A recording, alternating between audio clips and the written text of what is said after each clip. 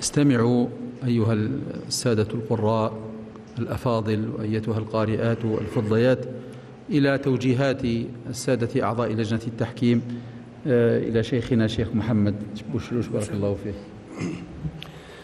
بسم الله الرحمن الرحيم. نسأل الله أن يجعلنا ممن قال فيهم الذين آتيناهم الكتاب يتلونه حق تلاوته أولئك يؤمنون به. وندخل مباشرة إلى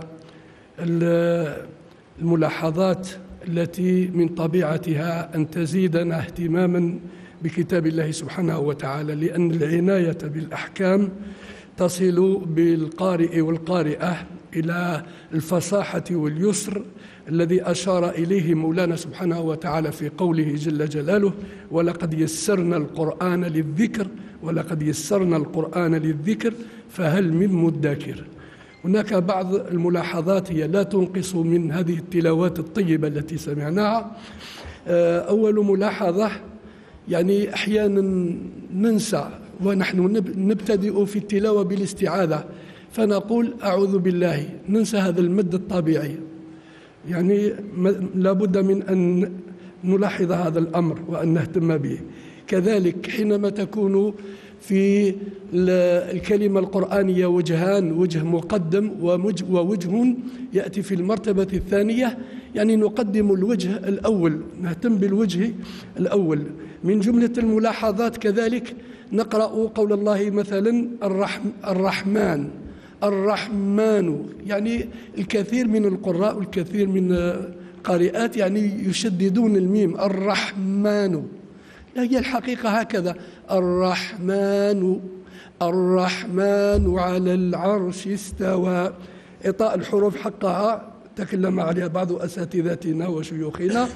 كذلك آه، يعني مسألة العنف في التعامل مع القرآن آه، أشرت أشرنا إليها في حصة في حصة فرطت آه، يعني لا نقرأ في شغل تعملون.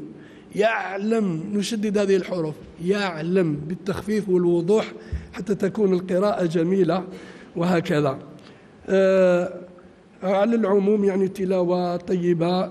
نسأل الله سبحانه وتعالى أن يجزل أن يجزل لنا العطاء فيها. وبارك الله فيكم وشكرا. تفضل آه، أخونا الفاضل أستاذنا آه، أستاذ يوسف مشكورا مأجورا إن شاء الله بتوجيه بعض الملاحظات للطلبة حاضر. بسم الله الرحمن الرحيم. ربي صلي وسلم على سيدنا محمد. إذا آه، استمعنا إلى هذه التلاوات. بارك الله فيكم على آه، حسن الأداء. ابتداء من القارئ أو المتنافس بلال كريم من بومرداس قرأت بطبع ما يسمى بالعراق المتلوق هكذا يسمى في تلمسان والذي هو شائع باسم الغريب ويقابل سلمه النغمي عندنا في الجزائر السلم النغمي نغمة البياتي وانتقلت إلى طبع الزيدان الذي يقابل سلمه النغمي نغمة آه، الحجاز وأحيانا الحجاز كار ويتخلله جنس العجم الذي يقابله المزموم كجنس عربي انتقالك إلى طبع العراق بعد ذلك كان آه، مباشرا ومن دون تحضير.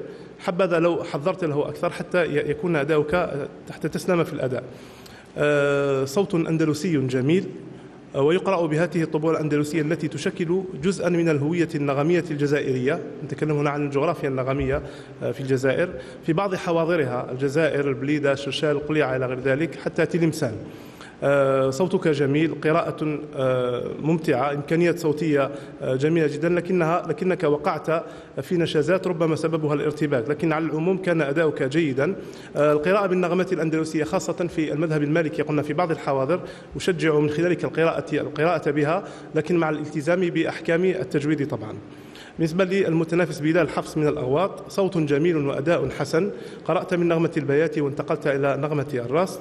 صيغ نغمية حسنة آه، لكنها أحيانا لم تخلو من الرتابة إذ كنت تكرر درجات بعينها. آه، دعني أقول لك أيضا أن القراءة بمرتبة التحقيق تتطلب منك بذل جهد أكبر في آه، تطوير إمكانياتك الصوتية إمكانياتك الصوتية عفوا ودرايتك النغمية. بارك الله فيك. بالنسبة للمتنافسة ريم روبا من سطيف صوت جميل وطابع صوتي متميز فيه شخصية. قرأت من نغمة الحجاز وأحسنت التعبير منها واستخدام حسن لطبقات صوتك لكن وددت لو استفتحت تلاوتك بطبقة أوطأ من التي قرأت بها. اعملي على تقوية صوتك في طبقة الحادة.